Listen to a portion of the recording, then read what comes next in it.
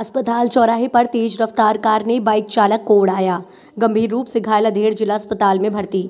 Shivpuri city कोतवाली थाना क्षेत्र के अस्पताल चौराहे पर सोमवार की सुबह तेज रफ्तार का कहर देखने को मिला। जहाँ एक तेज रफ्तार कार ने बाइक सवार को पीछे से जोरदार टक्कर मार दी, जिससे बाइक सवार अधेड़ उम्र का शख्स गंभीर रूप से घायल हो गया।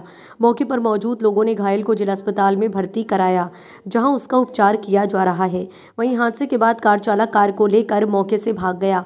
जानकारी के अनुसार धनीराम पुत्र कमरलाल रावत उम्र पचपन वर्ष निवासी।